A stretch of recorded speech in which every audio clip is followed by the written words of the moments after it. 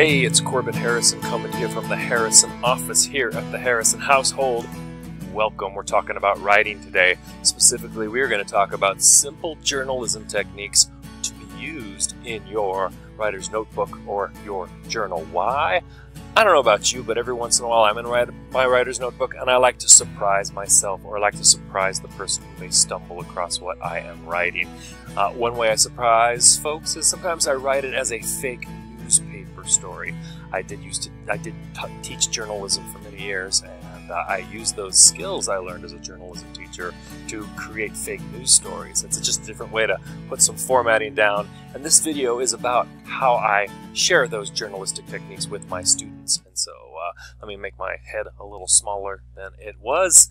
Uh, no one needs my head that large. Here are the three books that are on my uh, classroom library mentor text shelf. I use these to uh, show that news reporting can be an interesting technique for anyone who's trying to be creative or interesting. Um, the fairy tale news actually comes with a fold out newspaper, and the true story of the Three Little Pigs tries to unravel the truth um, by telling it through a reporter's eyes who's uh, gathering witnesses' statements of the truth story. Um, the middle book there's out of print, but it's one of my favorites, Tub-Boo-Boo by Margie Palatini. And uh, it starts and is narrated um, by a character who's the older sister of the character you see stuck in the bathtub there, but she is telling the story of this young boy's uh, toils uh, as though she's a news reporter for a television station on her front lawn. And so all three of these give, show my students what newspaper or journalism voice sounds like. Let's talk about the strategies I teach them. I have four stylistic strategies or tricks I teach my students that uh, journalists use and it makes your writing sound like it's newspaper writing whether you intended to or not. And they are as listed. First of all um, we have who what when where why first sentences. We have quoting witnesses using dialogue. We have including generalized experts opinions. And we have the strategy of going from most important details to the least important details this video will look at all four of those but we're going to start with who what when where why first sentences um, the very first sentence of every newspaper story that you'll ever read tries to answer the five most important facts. And here's the uh, frame you should use. Who did what, when, where, and why. Now, the who did what is usually first, and the when, where, and why can move around. But imagine this. Let's pretend we are reporting on the story of Hansel and Gretel, and uh, they have just been saved and picked up in the uh, from the woods um, uh, after having done away with the witch. And so this might be my who did what, when, where, why story that a reporter would gather. Two children found Sunday night on the edge of the woods, missing since Tuesday, claimed they escaped their witch-like abductor by pushing her into her own oven. Period. Long sentence, but look what it does. It says who, children, did what, claimed they escaped by doing this, when, where, and why, all answered in that sentence. That is an appropriate first sentence of a newspaper article. And so practice. You practice doing that. Here I did it with a fairy tale. That's a great way to practice in your classroom. Um, another great way to practice, I have to let you see this picture for real. Um, a friend sent this. Um, it's a family vacation photo. We used to stand by the uh, Welcome to California sign when we would travel, but we never got off on a busy freeway and posed. Um, that's just not very smart or safe. And so, um, taking this picture, I decided to fictionalize it into a fake but funny news story. And so, uh, my first sentence here, I've decided, would be Bill and Barb Turnerson, fake names, after forgetting where they had parked at the Chicago airport, walked the 74 mile distance back to their home on the same freeway they had driven in on, comma, Friday afternoon who did what, when, where, why. Again, if you look at both those sentences, they both become kind of long sentences, and that's the trick of writing the first sentences. It is generally a pretty long sentence, um, and you have to make sure it is indeed one sentence, not a run-on, not a comma splice, and that's a great way to practice your ability to write longer sentences, is to make your first sentence sound like a, a newspaper story's first sentence. And so that's the first trick, which is the who, what, where, when, why sentences. Now we're going to talk about adding quote the quotes of witnesses and therefore putting some dialogue or voice. Real newspaper articles, they do uh, interview witnesses, they interview experts, and those people get quoted. It's very easy to add that. So let's go to our Hansel and Gretel story. So here we are. They've escaped, um, claiming that they've done this thing. And so here's my first quote in my story. We barely escaped with our lives, my little brother and I, said an exhausted Gretel, huntsman's daughter. That witch was just moments from cooking and eating us alive. So I've gone from the first sentence, who, what, where, when, why, and now I've added a quote. And so a story is stacking up that sounds like a journalist's story rather than a fairy tale teller's story. Let's do it with the story about Bill and Barb. So here they are. Um, they um, the, the, facts have been reported of what they've done. First quote is, My horse Andrew used to find its way home, so I convinced Barb that my car must have done the same, Mr. Turnerson said while receiving medical treatment for the blisters on his raw feet.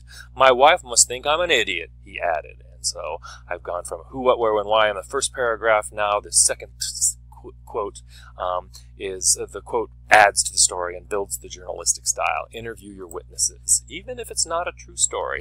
Third thing you can do uh, is you can include generalized experts' opinions. They can be real experts or just like the fake people that you might witness the story. They can be fake experts to keep the story moving. It's you can take creative touches when you're building sensational or not so true news stories in your writer's notebook. It's kind of what makes it fun. So here's our Hansel and Gretel story. Let's get a generalized expert. Remember where we left. That witch was just moments from cooking us and eating us alive, said Gretel.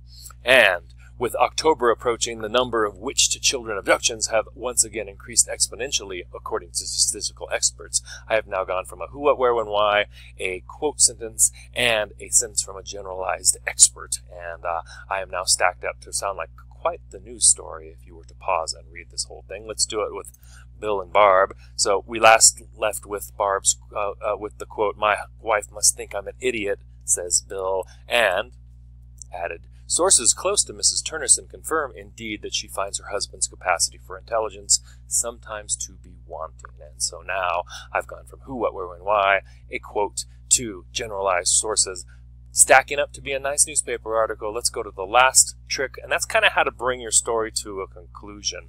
Um, the way that a newspaper article is generally organized is that very first sentence are the most important details, and then stacked below that are all of the side details, the ones you could do without. The most important details you should be able to read first and then stop reading and you would still know the story. Underneath, you should have the second most important detail, the third most important detail, the fourth most important detail. As you're figuring out how to end a news story, you have to say, well, I can't have a really important thing happen here. How would I end this story on a less important note? And I'll show you how I did it here. And so here we have Hansel and Gretel's story um, uh, developing. Um, with October approaching, the number of witch-to-children abductions have once again increased exponentially, according to statistical experts. Police continue to scour the woods for anyone who is a witch or wearing a witch's disguise, but at this point, no suspects or houses or ovens have been found. That's where we conclude. That's not very important information because nothing really has been found, but at least we know something's still being done about it. And so I have now created a four part uh, journalist style uh, newspaper article that's not really a true one, but that's kind of the fun. It's the sort of thing you can write in 10 minutes during sacred writing time. Let's conclude Bill and Barb's story here. Sources say that she is indeed angry because he's not very smart. Police decided not to press charges against the couple who appreciated the medical care but still insisted on completing their trek homeward on foot. The car has still not come home on its own is how that story ends. And there again, taking a family photo, you can take any photo off the internet and do the same thing with. The idea is inspiration comes to you and you produce a piece of writing that takes the form of a newspaper article. There are four tricks right there for you. Um, try them out. Start with the first one, try in the second one, uh, add that third one, add that fourth one. You'll be eventually writing in 10 minutes things that sound like real newspaper stories, even though they maybe aren't as real. Here's some examples from my writer's notebook. So um, I decided to write this story called Flying Frogs, Frightened Farmers. I sometimes do that with my uh, titles. I get alliterative with them. But if you were to really look at that closely, you'd see I just followed my own four steps, and I have a newspaper article. Uh, I'm not crazy to come up with the idea that frogs fly. I got this idea from the picture book Tuesday. I thought, what if a reporter was reporting on that, and I took a picture out of the picture book uh, on the copy machine and I put it in here and then I created a newspaper story around it.